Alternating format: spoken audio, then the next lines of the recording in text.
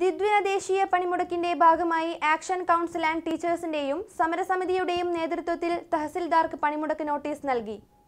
P F R D A നിയമം പിൻവലിക്കുക പൊതുമേഖലയെ സംരക്ഷിക്കുക തുടങ്ങിയ വിവിധ മുദ്രാവാക്യങ്ങൾ ഉന്നയിച്ച് മാർച്ച് ഇരുപത്തെട്ട് ഇരുപത്തൊമ്പതിന് ദ്വിദ്വിന ദേശീയ പണിമുടക്കിന്റെ ഭാഗമായി ആക്ഷൻ കൗൺസിൽ ആൻഡ് ടീച്ചേഴ്സിന്റെയും സമരസമിതിയുടെയും സംഘടനകളുടെ നേതൃത്വത്തിലുള്ള ജീവനക്കാരും അധ്യാപകരും കൊടുങ്ങല്ലൂർ താലൂക്ക് തഹസിൽദാർക്ക് പ്രകടനമായി പണിമുടക്ക് നോട്ടീസ് നൽകി. തുടർന്ന് കെ എസ് ടി എ ജില്ലാ treasurer C A Naseer master അധ്യക്ഷത വഹിച്ച യോഗം ജോയിന്റ് കൗൺസിൽ ജില്ലാ joint secretary C S Anilkumar ഉദ്ഘാടനം ചെയ്തു. കഴിഞ്ഞ ഏഴ് ഏഴര വർഷത്തോളമായിട്ട് കേന്ദ്രത്തിൽ ഭരണത്തിലിരിക്കുന്ന എൻ ഡി എ സർക്കാർ വ്യക്തമായി പറഞ്ഞാൽ മോദിയുടെയും അമിത്ഷായുടെയും നേതൃത്വത്തിലുള്ള ഒരു കൂട്ടുകെട്ട് കഴിഞ്ഞ ഏഴര വർഷമായി ഇന്ത്യ മഹാരാജ്യത്ത് നടപ്പിലാക്കിക്കൊണ്ടിരിക്കുന്ന എണ്ണി എണ്ണി പറഞ്ഞാലും തീരാത്ത തരത്തിലുള്ള കരി നിയമങ്ങൾ ആ കരി നിയമങ്ങൾക്കെതിരെയാണ് നമ്മളൊരു കുരിശ് യുദ്ധം പ്രഖ്യാപിച്ചിരിക്കുന്നത്.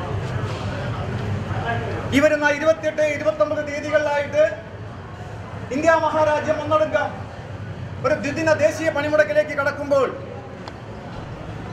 ഇരുപത്തൊന്നാമത്തെ ദേശീയ പണിമുടക്കമായിട്ട് ചരിത്രം അതിനെ രേഖപ്പെടുത്തുമ്പോൾ കഴിഞ്ഞ നാളുകളിൽ നിന്നും വിഭിന്നമായിട്ട് ഈ രാജ്യത്തെ അധ്യാപകരും ട്രേഡ് യൂണിയനുകളും മാത്രമല്ല പണിയെടുക്കുന്ന മേഖലയിലെ ഓരോ ജനങ്ങളും അത് തൊഴിലാളികളായാലും കർഷക തൊഴിലാളികളായാലും കൂലിപ്പണിക്കാരായാലും എല്ലാം അവരുടെ എല്ലാം ജീവിത അനുഭവങ്ങൾ ഉൾക്കൊണ്ടുകൊണ്ട് ഈ സമരത്തിൽ അണിചേരുമെന്നുള്ളത് നമുക്ക് വളരെ സുവ്യക്തമായിട്ടുള്ള കാര്യമാണ്.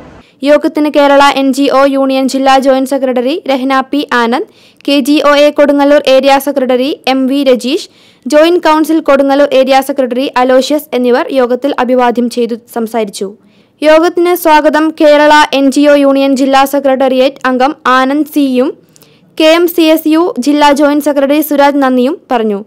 പ്രകടനത്തിന് A S Sumesh P A Muhammad Rafi P H Haseena C S Ajay Ghosh K K Rasiya P A Praveen Das P M Dileep Santhosh K K P S Premdas Prashanth തുടങ്ങിയവർ നേതൃത്വം നൽകി.